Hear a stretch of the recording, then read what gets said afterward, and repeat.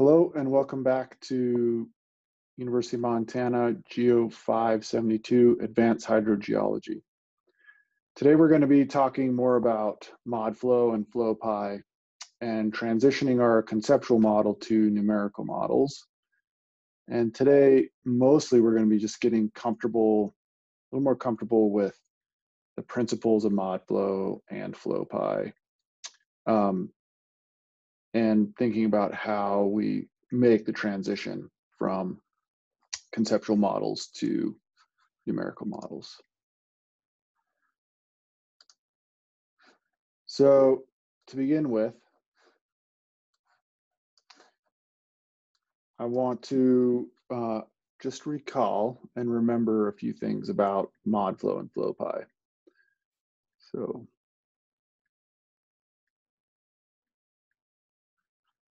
recall.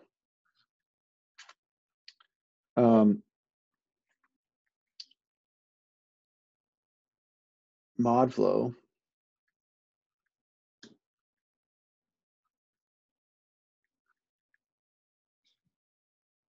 is a Fortran executable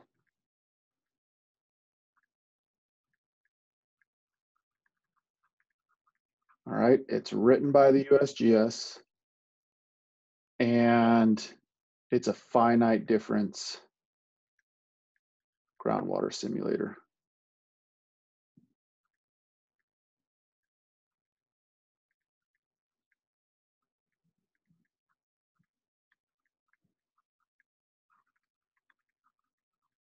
All right, so ModFlow is a program, it's written in Fortran, it's a finite difference groundwater simulator. All right, FloPy, all right, is Python.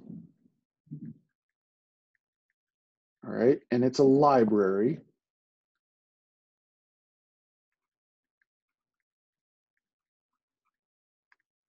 And it, Python or FloPy is this Python library that's designed for creating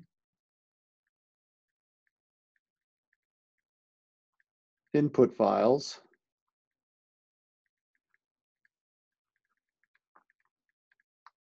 needed by ModFlow.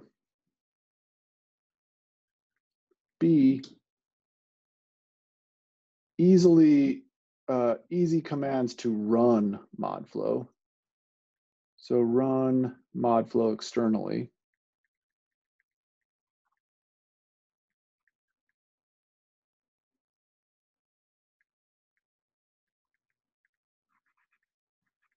All right, and what, what, I want you to remember here is when it calls ModFlow, it's calling this external uh, program, Fortran program that runs independent of Python. All right, it's not running in Python, it's running outside.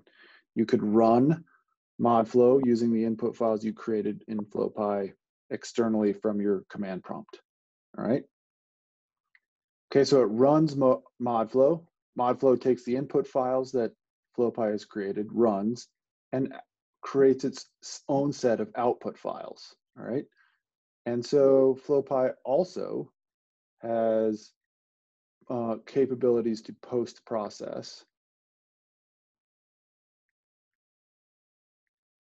ModFlow output so that you can make plots and calculations.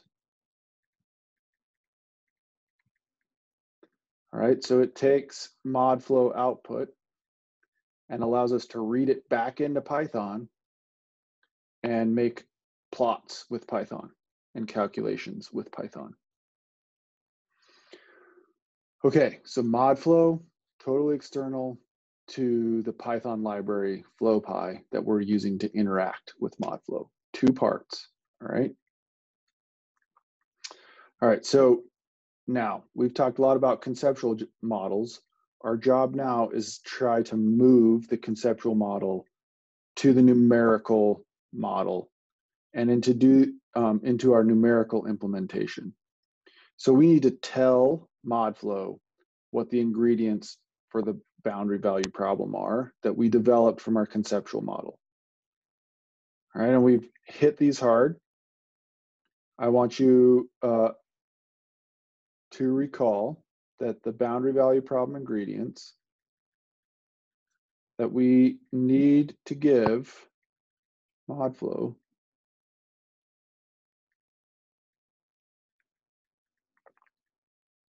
we need to export to ModFlow in a way that ModFlow can understand. All right, so the first one is, well, we need a domain of interest. Oh.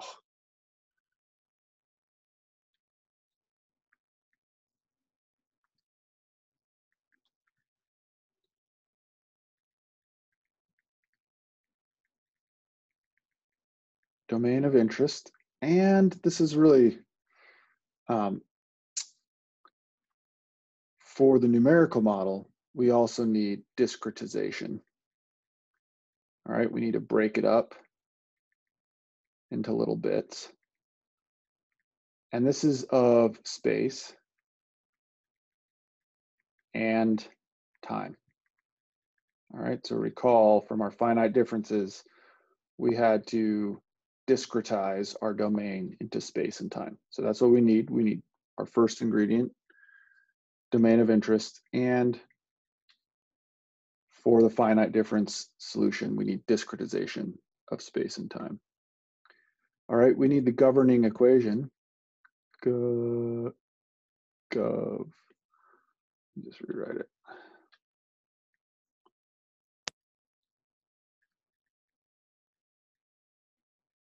governing equation. All right. And this also changes. So the important processes that we need to consider. An example is, you know, do we have recharge or not? As an example. Okay uh, boundary and initial conditions, BC and IC.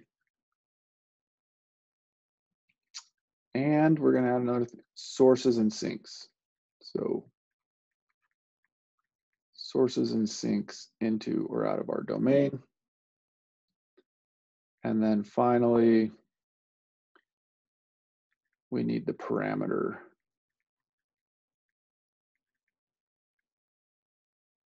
parameters of interest. All right. So remember, all of these ingredients come from our conceptual model.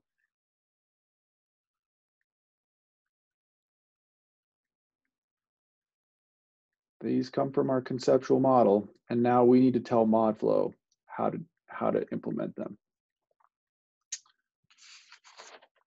Okay, so let's just talk about some before we get into the details, I think it's important to understand some basic mod flow concepts that allow us to uh, more easily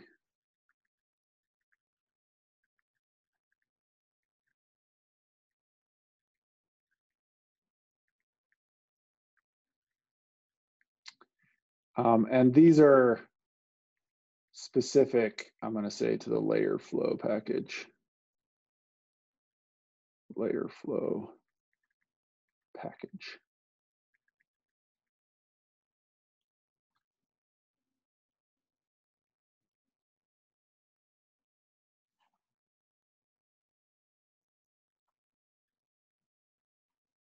All right, so some concepts that we're going to use for the layer flow package specifically. First of all, the way ModFlow kind of thinks about the world is that the world is made up into a series of long, thin aquifers and aquitards. All right, so we got long, thin aquifers and aquitards.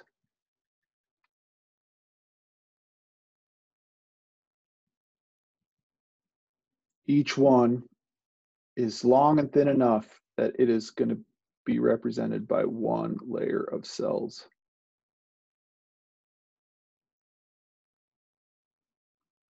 So long, thin, aquifers and confining units. One cell thick. All right, and remember, this is, these are columns and these are rows of cells. Uh, sorry, we're looking, these are layers. Never mind, disregard what I said. These are layers. And if we're looking in cross section here, these layers, these are columns.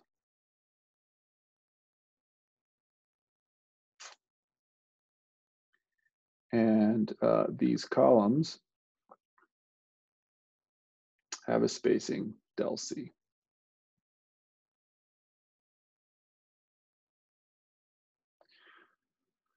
Okay. Um, next thing. So we need to apply boundaries.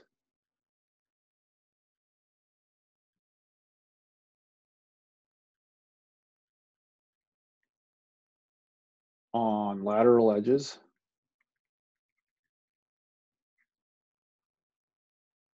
All right, all lateral edges of our system and the top and bottom.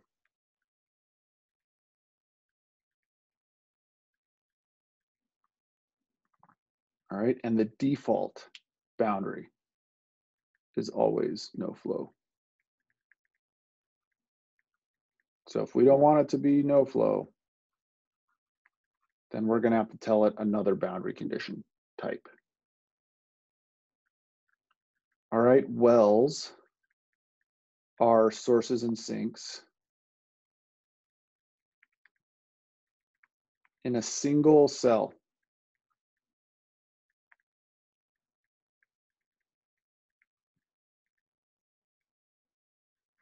And we can think about that as, for example, a well that's screened across this entire aquifer, all right?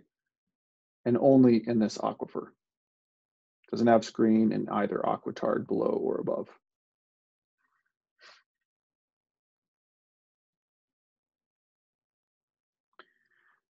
Uh, the other thing is this source and sink applies to the whole cell. It's not a point within a cell. It applies to the whole cell.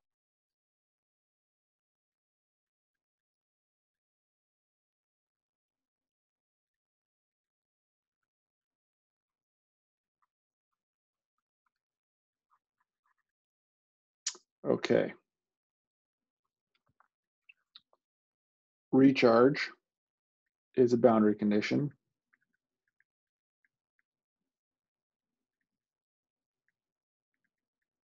It's a flux boundary condition at the top of the domain.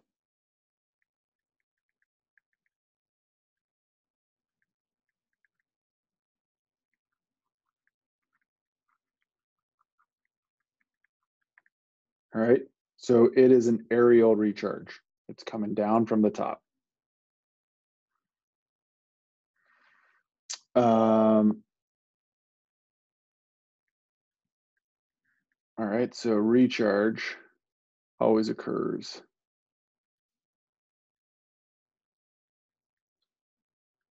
at the top of a cell.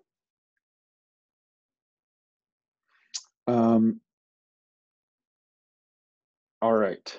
So another important ModFlow thing is that boundary conditions and sources and sinks. All right, boundary conditions and sources and sinks are constant for a stress period. All right, so the world, according to ModFlow, is broken up into stress periods. Those stress periods are defined as a time where the boundary conditions are constant. and the sources and sinks. If they change, so if a boundary condition or source sink changes, we have to define a new stress period. All right, so if the rate at which we're pumping a well changes in ModFlow, you have to have a new stress period. All right, and you define the new pumping rate for that stress period. Um, each stress period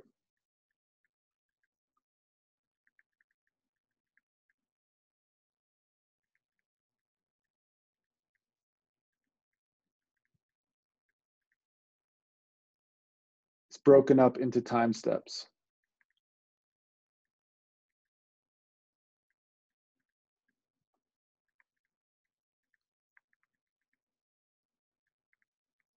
All right, so you have multiple time steps per stress period.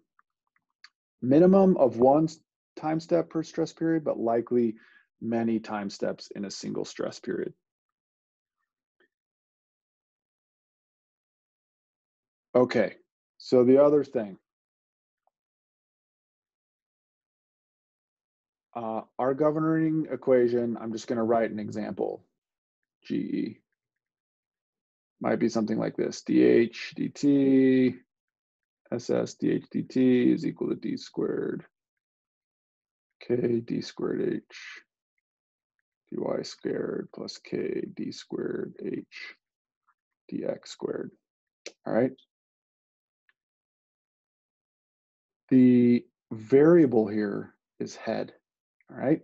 So the solution to this governing equation is head as a function of space and time, right? The solution is something that is a tells us the head at x, y, and t. All right, so the main output for ModFlow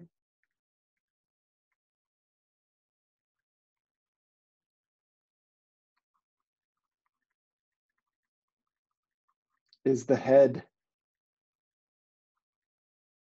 at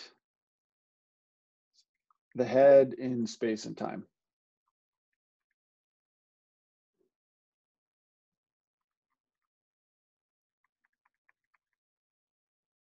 So if we want to know flow,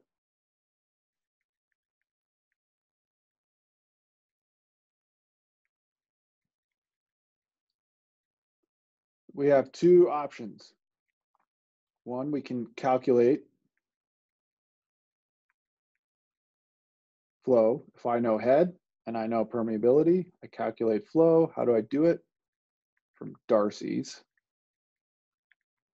law, right? Or I can have ModFlow keep track of flow, and that's called the cell budget file. All right, and then I tell ModFlow to write out the cell budget for each cell. All right, lots of output might not want to do that. So a lot of times we're just going to output the head field and we can calculate flow using Darcy's law. Okay, another key aspect of ModFlow. ModFlow, a ModFlow simulation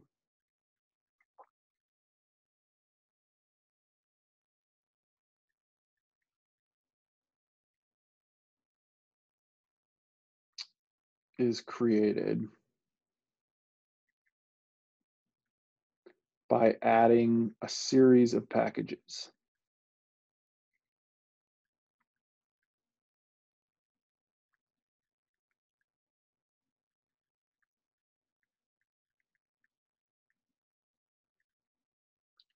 All right. And these packages are the way that we define the ingredients of the BVP. So packages,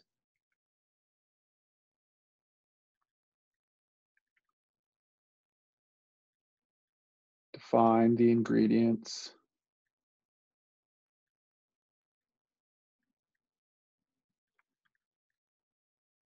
of the boundary value problem. All right. And they give mod flow specific instructions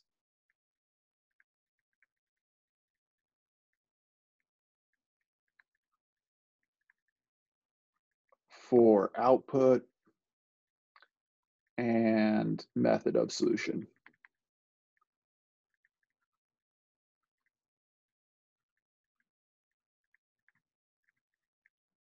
All right, so we're going to string each each ModFlow simulation. We're going to string together a series of packages that we need to turn our to take our conceptual model, turn it into the ingredients for the boundary value problem for ModFlow, give it the instructions we want, and each um, not all simulations will use the same packages. So each series of packages is tailored um, to add the things we need from our conceptual model. So not all packages are used in a simulate. Uh, not all packages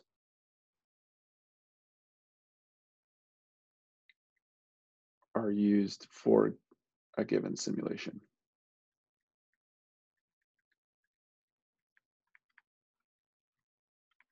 And for each simulation, you're not going to use the same packages.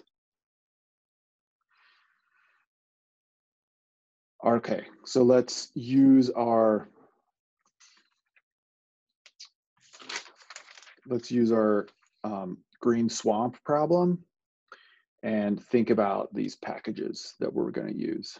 So um, let's add a page here and let's talk about the green.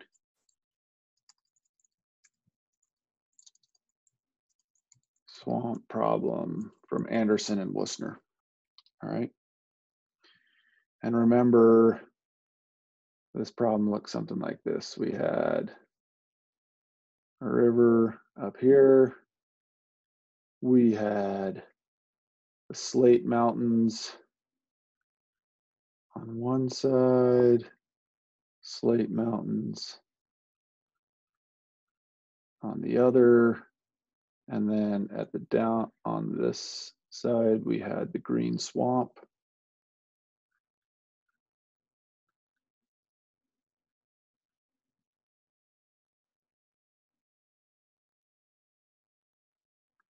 All right, and here's the river. And if we were to look sort of along a profile here from A to A prime, right? Oh, let's add some dimensions here. This was 10,000 meters, 10 kilometers. And this was 4,500 meters. And we got a well that we're gonna put here. That's 1,500 meters. 2250. 2250. What else? All right, so if I look from A to A prime, so this is map, cross section.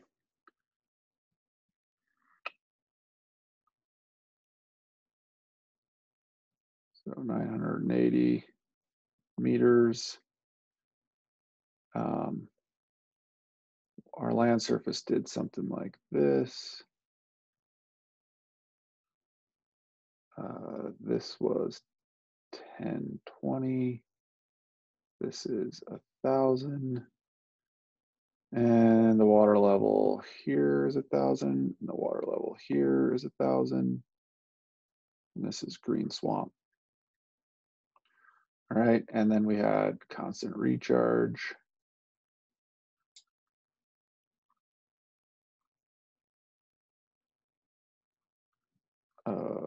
uh, a millimeter a day.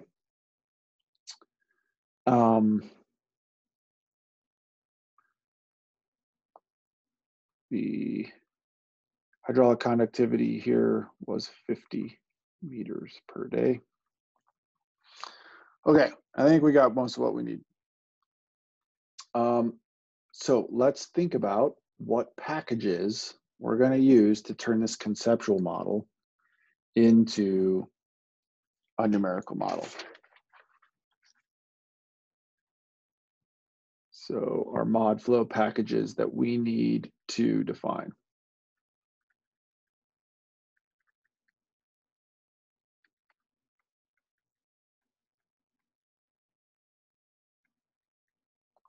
All right, and use.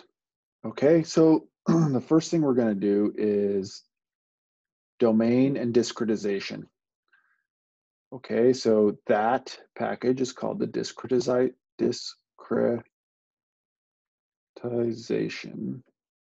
package.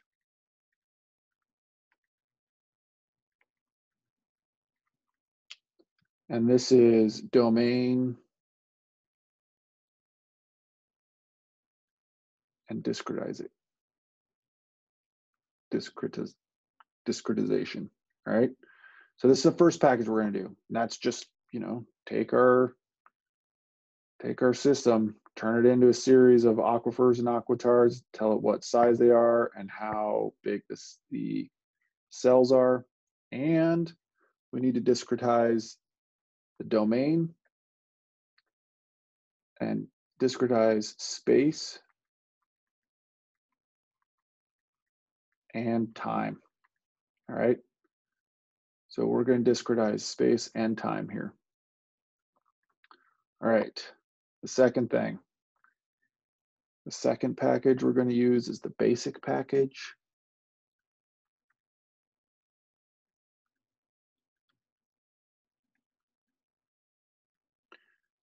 All right, and this is, you can think about this as our first boundary condition step, all right? And our initial condition.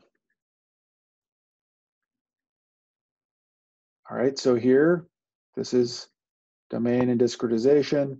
Second is first set of BCs. This is constant head BCs or no flow BCs.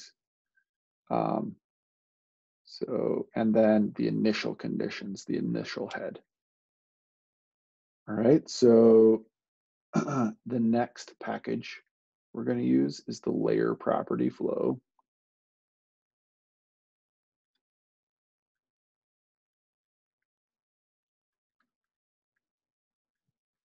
LPF.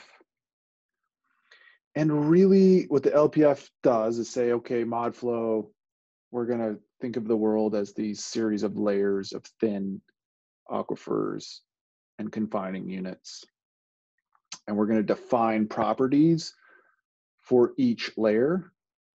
And so you can think about this as sort of telling it the kind of, it tells it a little bit about the PDE and it tells it about parameterization.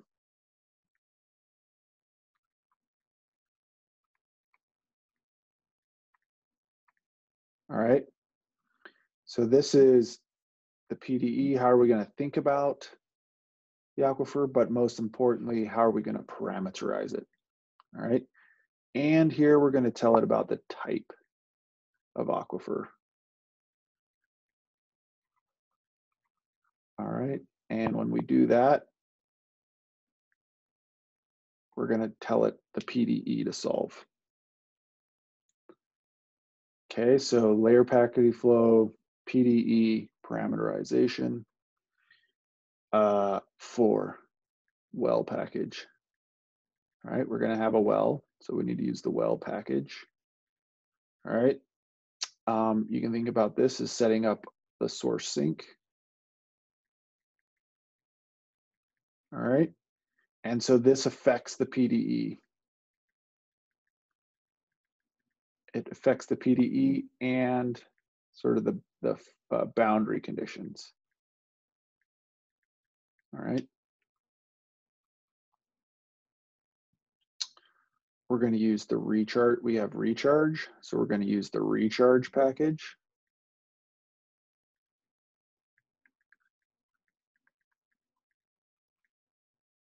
All right, and this is the second boundary condition step. And this is for a specific boundary condition, and that's recharge. All right, so it actually also affects the, that doesn't really affect the boundary or the partial differential equation, but it does add our constant flux boundary condition or our specified flux. All right, the other one we're going to use is output control.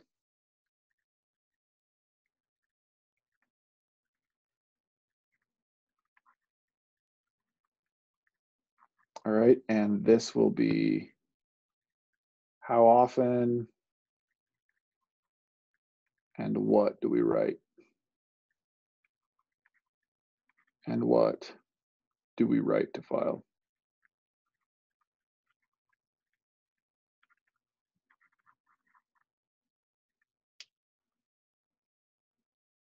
All right, and this is really, this is instructions for ModFlow. All right, this is not really part of our uh, conceptual model. This is just instructions for ModFlow to tell them or to tell ModFlow, the model, when to out output. Now we're gonna construct our output control knowing you know, what the problem is we wanna solve.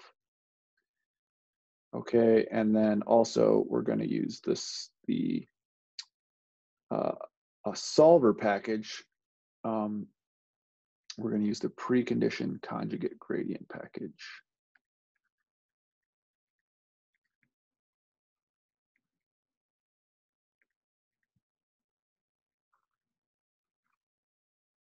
Conju, uh,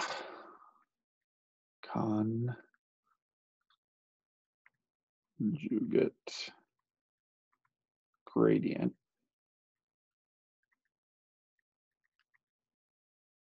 package PCG. And this is solver. All right, remember solver for H equals to A inverse H T plus one equals to H inverse T. All right, so this tells me something about this A inverse. And uh, and again, this is instructions for ModFlow and the solution method.